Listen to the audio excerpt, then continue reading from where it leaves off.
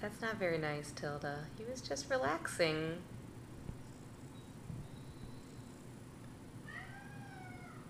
See?